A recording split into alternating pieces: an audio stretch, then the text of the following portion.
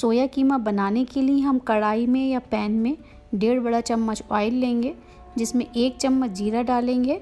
एकदम finally chop किया हुआ हम इसमें गार्लिक ऐड करेंगे। जितना आप ऐड करना चाहें कर सकते हैं, और अगर आप गार्लिक नहीं खाते हैं तो स्किप भी कर सकते हैं। दो हरी मिर्च भी चॉप करके इसमें ऐड करेंगे। हल्का सा कुक करेंगे, और अब हम इसमें डालेंगे जिंजर जूलियंस यानी अदरक को मैंने थोड़े लंबे पीसेस में कट कर लिया है इस तरह से जूलियंस में।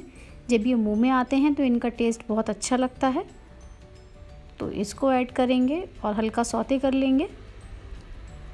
अब हम इसमें डालेंगे एकदम फाइनली चॉप किए हुए टमाटर। तो यहाँ पे मैंने दो टमाटर लिए हैं।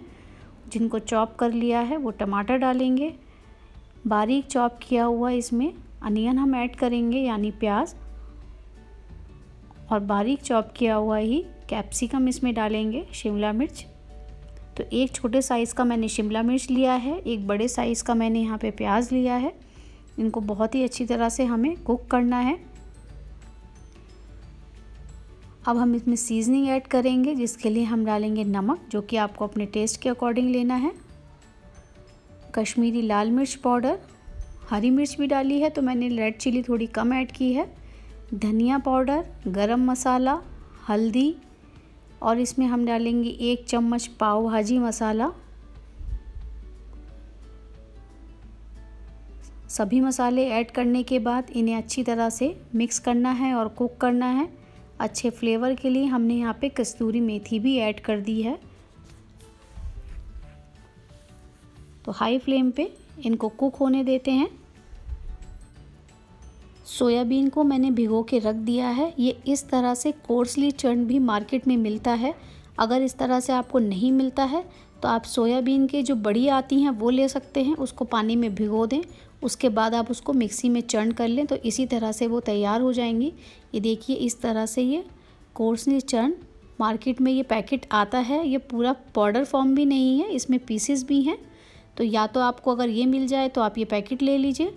नहीं तो आप सोयाबीन की बड़ियों को पानी में भिगो दें, उसके बाद जो पानी है वो निकाल लें और बाद में उसको मिक्सी में चर्न कर लें। अब हम इसमें ऐड कर रहे हैं टमाटर का पेस्ट। टमाटर को मैंने बहुत अच्छी तरह से कुक करके रख लिया है अलग से, वो पेस्ट मैं इसमें ऐड कर रही हूँ। इससे काम आसान हो जाता है। आप चाहें तो टमाटर की प्यूरी भी इसमें ऐड करके उसे अच्छी तरह से कुक कर सकते हैं। अगर पेस्ट पहले से बना हुआ तैयार नहीं है तो। अब हम इसमें एकदम हॉट वाटर ऐड करेंगे। तो ये एकदम गर्म पानी है। आधा कप पानी इसमें ऐड कर दिया है। सभी चीज़ें अच्छी तरह से कुक हो चुकी हैं। इसी तरह से हाई फ्लेम पे इसे कुक करते रहना है। थोड़ा सा इसमें चाट मसाला ऐड करेंगे। चाट मसाला नहीं है तो आप ड्राई मैंगो पाउडर यानी अमचूर पाउडर भी यहाँ पे ऐड कर सकते हैं।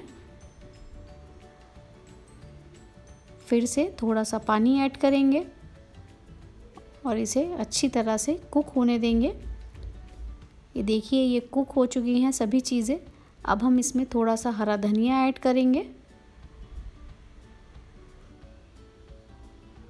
अब हम इसमें सोयाबीन ऐड कर देंगे। इसका जितना भी पानी है, आपको वो पूरी तरह से निकाल लेना है। मैंने इसको एक कपड़े में डाल के जितना भी एक्स्ट्रा पानी था वो निकाल दिया है। तो आप देख सकते हैं ये एकदम ड्राई हो गया है। तो जितना भी एक्स्ट्रा पानी है उसको निकाल लें।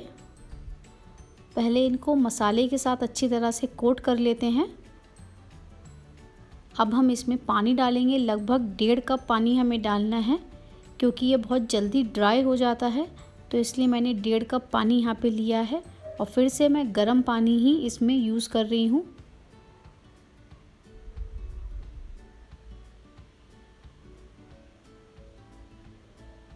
इसमें एक पीस बटर का डालेंगे।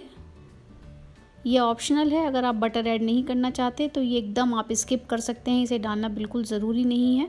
बस टेस्ट को बढ़ाने के लिए मैंने थोड़ा सा बटर भी इसमें डाला है। अब हमें इसे हाई फ्लेम पे कुक करते रहना है, जब तक ये हल्का सा ड्राई नहीं हो जाता। इसमें हम डाल देते हैं थोड़ा सा लाइम जूस। तो हाफ़ लेमन का जूस मैंने यहाँ पे लिया है।